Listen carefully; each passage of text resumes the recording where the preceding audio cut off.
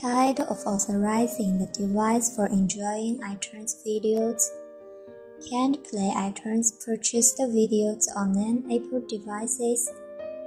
Want to extend the rental time of iTunes movies? What you need is M4V Converter Plus for Mac.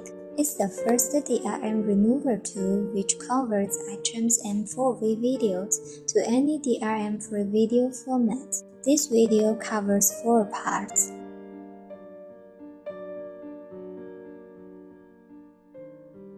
Due to DRM protection, you can't play iTunes purchased TV shows and movies on your Android phones and other non-Apple devices. M4V Converter Plus for Mac helps you remove DRM from iTunes purchased videos at ease, so that you can play them on any device without authorizing.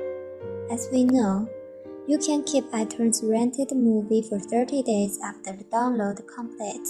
However, once you have started to watch the rental, it will expire in 24 hours. With M4V Converter Plus for Mac, you can remove the DRM from the rentals to extend the rental time.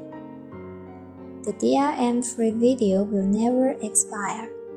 M4V Converter Plus for Mac also enables you to convert the M4V to MOV MP4, AVI, and many other formats. Moreover, the output file size gets smaller. Now enjoy iTunes TV shows and movies on Apple devices, Sony PSP, Android Pad, mobile phones, and other devices as you like.